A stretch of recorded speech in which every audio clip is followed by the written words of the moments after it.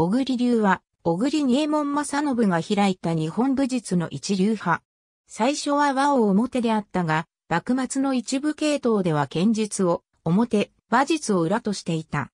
本来は、流祖が編み出した組打ちに、剣術他を加えた流派と伝えられ、また、和の極意を最も重要な秘伝とするなど、柔術を流儀の革新とする内容の流派である。創始時には、剣術と和以外に、抜刀術、総術、眉と狩り術、水蓮、記者などを含んでいた。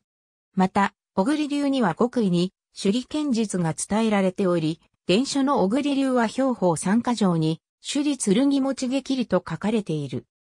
徳川や旗本であった小栗正信は、柳生石秀才から新影流剣術を学んでいたが、大阪の陣に出陣した折に、組打ちで手級を上げた経験から、長崎奉行に赴任中に、新影流道門の駿河鷲之助と組打ちの研究をして、小栗流を開いたと伝えられる。和と表記する。また甲冑伝や武者取りとも言われる。小栗流は、正信の弟子の朝比奈課長が、土佐藩主、山内家の家臣だったことにより、土佐藩に伝えられ同地で栄え、土佐藩の充実は幕末まで、小栗流の勢力が大きかった。現在、小栗流和の伝承が残っているかは不明である。例として一部の系譜を以下に示す。実際にはこの他にも多くのつて系が存在した。ありがとうございます。